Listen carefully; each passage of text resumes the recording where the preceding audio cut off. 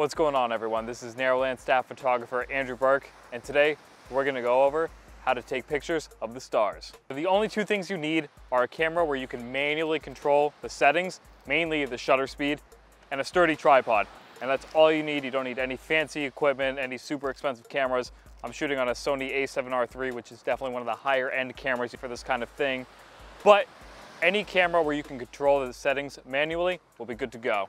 So the biggest variable you have to think about when you're shooting night skies is generally the shutter speed. I like to get started by shooting at a five second shutter speed and adjusting my settings from there. My ISO ranges from 3200 to 12,800 and especially if you're shooting on a beginner lens that maybe doesn't go down to a super low aperture, I like to keep my ISO at 6400 or 12,800 to get the shot that I'm looking for. It's a little bit noisy at that ISO, but you can generally work with it. And if you're taking a picture of the night sky, it tends to look pretty cool anyway. So as you can see, it's pretty much pitch black in front of the camera right now. Even on this Sony a7R III, you're going to have a long time for that camera to process the information into an image.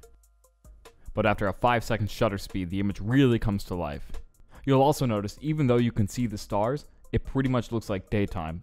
And that's the style you'll get when you're shooting on a full moon night.